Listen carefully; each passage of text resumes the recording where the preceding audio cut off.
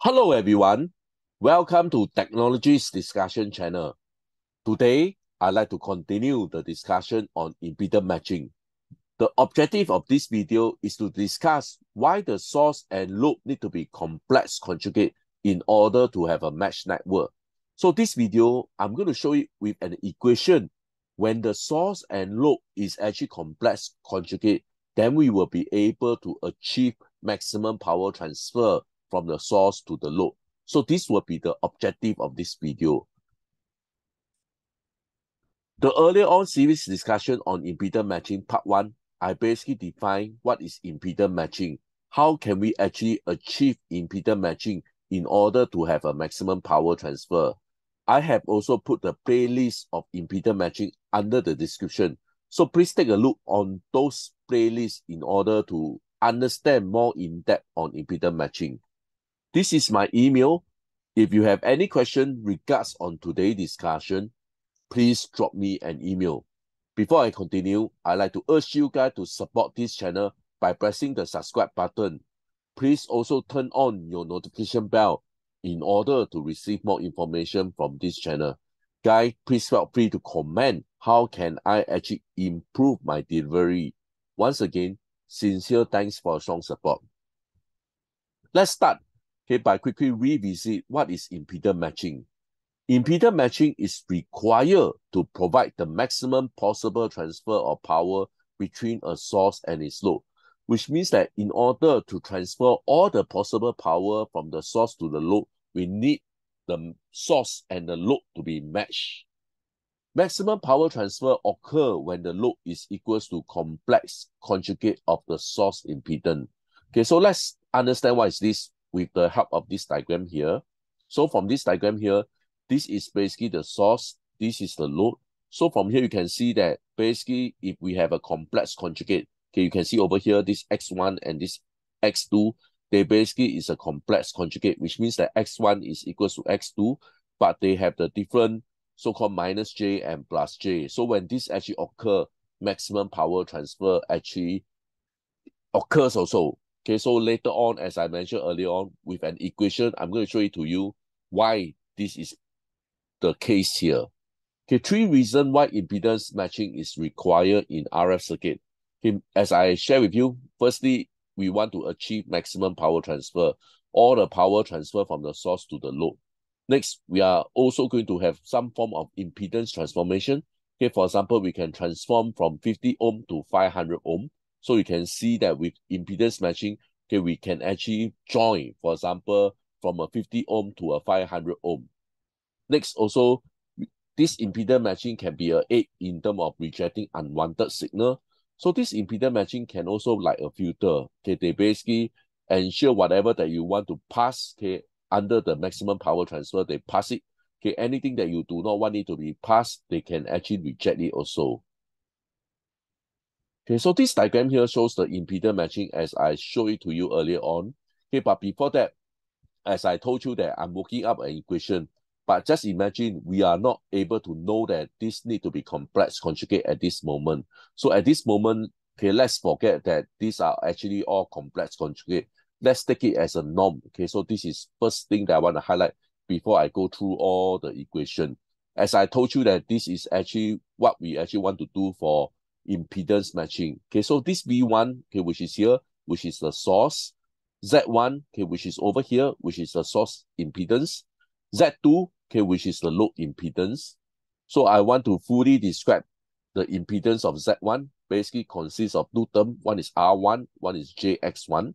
Same for the load, okay, R2 plus JX2. As you can see from here, basically this impedance is a combination of resistor and inductor. Okay, as I told you that we will not be able to know that it's a capacitor. So again, for this case, let's assume that this is R2, again, with the inductor of JX2. Okay, as I told you that before we work up, we probably will not be able to know that they need to be complex conjugate. So therefore, I actually outcome to have this. Next, okay, how can we actually find the I1, okay, which is the current that flowing through? So if we have the source and of course, I know all the impedance, okay, I will be able to find my I1. Do you agree? So in short, this is the voltage over all the total resistance. So basically the total resistance will be Z1 plus Z2 because they are in series and therefore I will be able to find the current that flow over here. Okay, next, we need to calculate the power. Okay, how we calculate the power okay, is simply just I squared R. If you still remember, I squared R. Okay, for example, I want to find the power over here.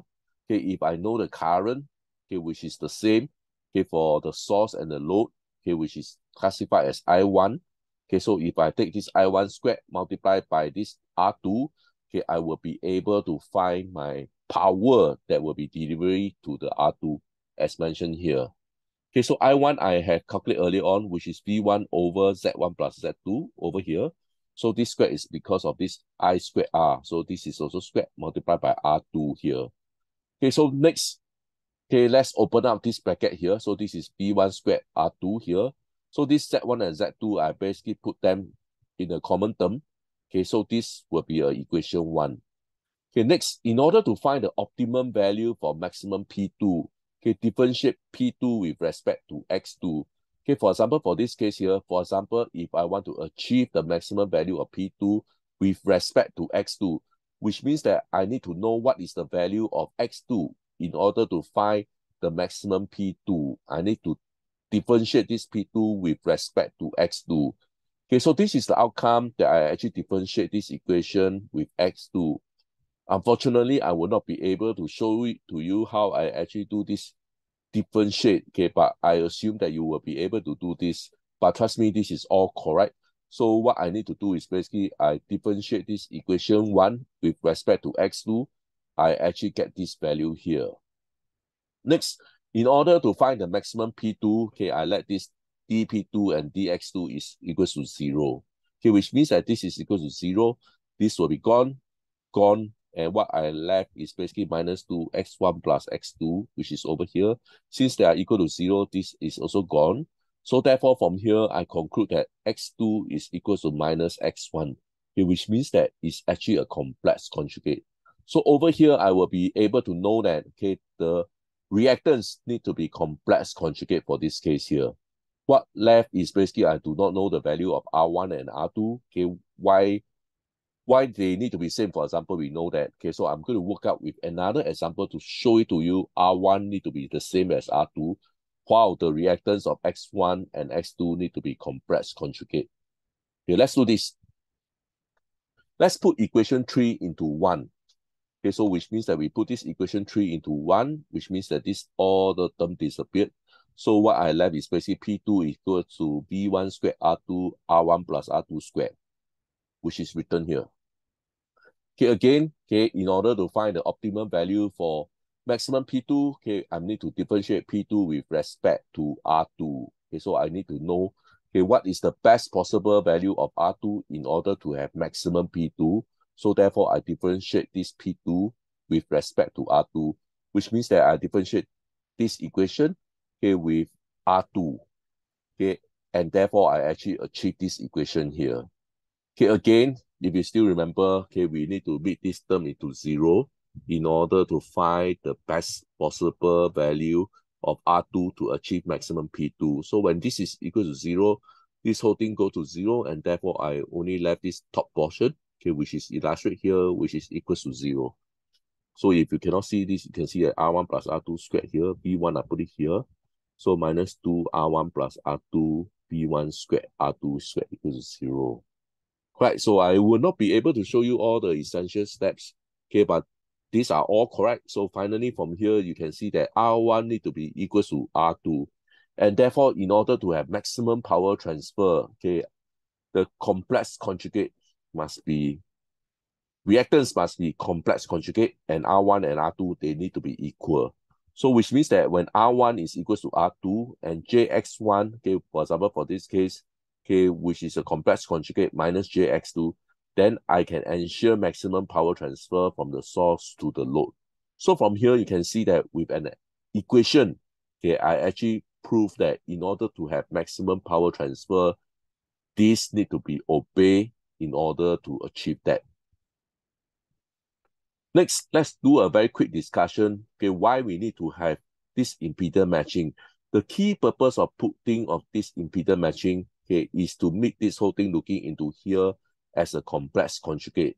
Okay, let's take a look. When the source and load impedance are not conjugate, okay, so this is a typical design. Okay, for example, this is a source, this is a load.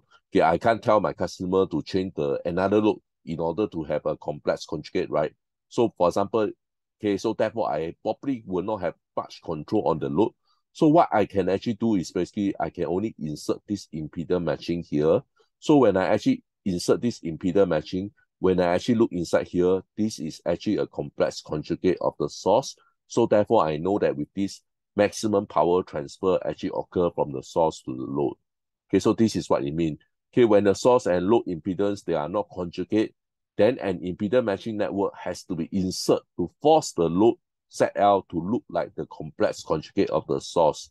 Okay, so how can we design this impedance matching? In short, okay, these are the three form here. Okay, for example, the common one will be two element L network, which is much more easier. So the next video, I'm going to show you to you this two element L network. Okay, we can also have three element T or pi network. Okay, so this is having a shorter bandwidth. Okay, so later I'm going to also going to describe, okay, but we have more degree of control and we also have the multiple element network. Okay, so with this, I'd like to end my discussion. Please help to like and subscribe. Once again, sincere thanks for some support. See you guys.